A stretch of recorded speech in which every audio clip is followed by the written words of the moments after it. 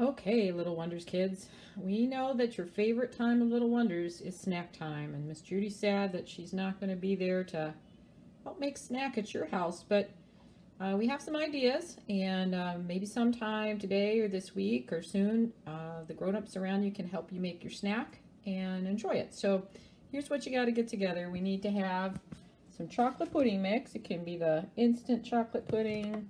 You could have the cook and serve chocolate pudding. You'll need some milk. You'll need some milk to mix that up together. And that's going to be our mud.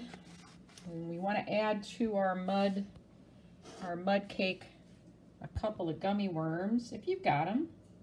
Otherwise, it's fine. There's not always mud, worms in our mud. Uh, but if you have gummy worms, you can put them in the bottom of your cup, which we're going to make our snack in. You just drop them right there in the bottom.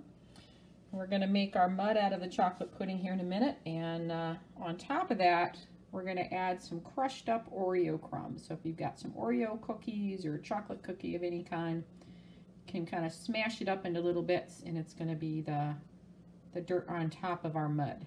So I'm going to whip some stuff together here and then we'll show you how it all comes together. Just spoon it in there over your worms. So there we go. We got a Ooh, looks like good mud now. we got a cup full of mud and our worms are at the bottom.